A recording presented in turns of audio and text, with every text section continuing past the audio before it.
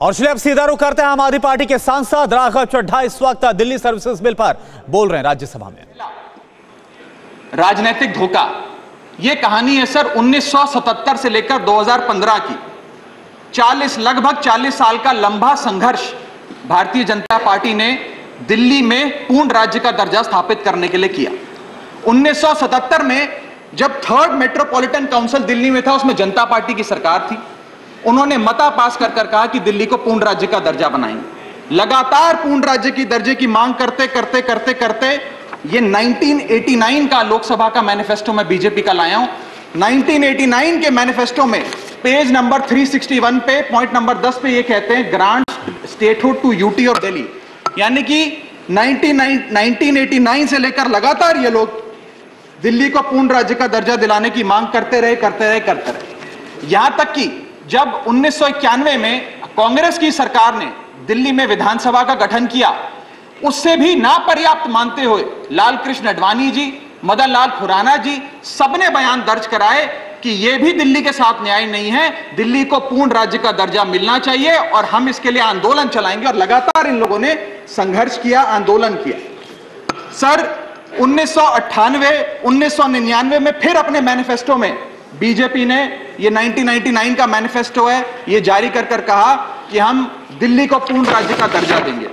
Page number 132 point number 31 we will give full statehood to Delhi sir, इन लोगों ने बड़ा आंदोलन चलाया, संघर्ष किया, सड़कों पे लाठियाँ खाई, न जाने क्या क्या किया दिल्ली को पूर्ण राज्य का दर्जा दिलाने के लिए, और अंततः वो दिन आया, जिस दिन वाजपेयी सरकार और वाजपेयी सरकार के उप प्रधानमंत्री आदरणीय लाल कृष्ण अडवाणी जी, इस सदन के भीतर एक बिल लाए, द कॉन्स्टिट्यूशनल अमेंडमेंट बिल 2003 जो दिल्ली को पूर्ण राज्य का दर्जा देता है।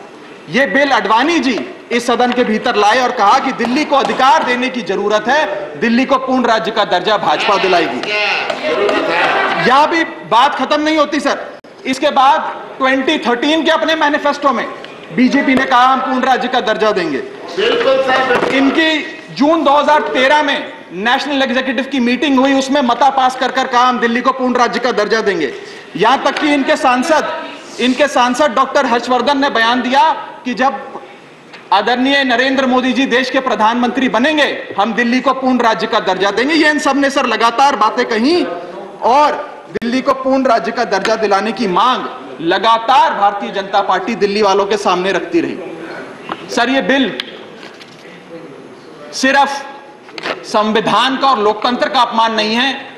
ये बिल लाल कृष्ण अडवाणी जी का, अटल बिहारी वाजपेयी जी का मदन लाल खुराना जी का, सुषमा स्वराज जी का, अरुण जेटली जी का, सबका अपमान करने का और उनके 40 साल के संघर्ष को मिट्टी में मिलाने का काम करता है। सर, मैं मैं मैं माननीय गृह मंत्री जी का बयान लोकसभा में सुन रहा था।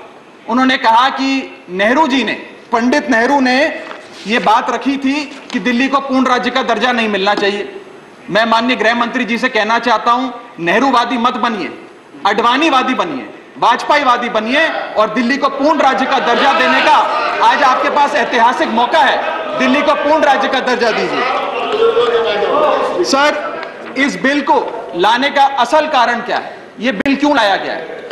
पिछले 25 साल में दिल्ली में छह बार विधानसभा के चुनाव हुए। छह के छह चुनाव भारतीय जनता पार्टी बुरी तरीके से हारी। यहाँ तक कि 2015 और 20 में आज़ाद भारत के इतिहास की सबसे बड़े जनादेश की सरवार सरकार अरविंद केजरीवाल ने दिल्ली में बनाई। क्योंकि ये पिछले 25 साल चुनाव नहीं जीत पाए और अरविंद केजरीवाल और आम आदमी पार्टी के आने के बाद ये जानते हैं कि अगले 25 साल भी ये लोग चुनाव नहीं जीत पाएँगे।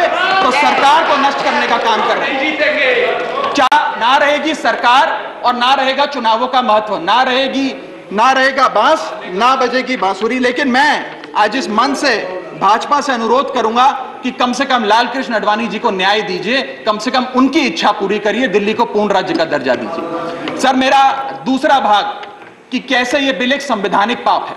सर, पहली चीज़, ये abuse of ordinance making powers है आर्टिकल 123 जो संविधान का देता। है संविधान ये कहता है, और वाईवी चंद्रचूड़ साहब का A K Roy versus Union of India एक बड़ा महत्वपूर्ण लैंडमार्क जजमेंट है, जिसने कहा कि ऑर्डिनेंसेस सिर्फ़ आपातकालीन और विषम परिस्थितियों में लाए जाएँगे। ऐसी कौन सी आपातकालीन और विषम परिस्थितियाँ आ गई कि आपको सुप्रीम कोर्ट के फैसले को आठ दिन के भीतर बदलना पड़ गया?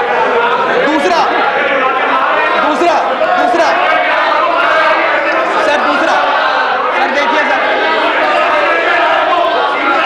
सर दूसरा सुप्रीम कोर्ट की दूसरा बिंदु यह सुप्रीम कोर्ट का अपमान है सुप्रीम कोर्ट के फैसले को आठ दिन के भीतर पाँच जजों के, संवैधानिक पीठ के सर्वसम्मति के फैसले को बदल के आज भारतीय जनता पार्टी ने एक मैसेज दिया है कि हम सुप्रीम कोर्ट को भी चैलेंज करते हैं। सुप्रीम कोर्ट के फैसले को भी नहीं मांगते आपको जो ऑर्डर जारी करना है करो।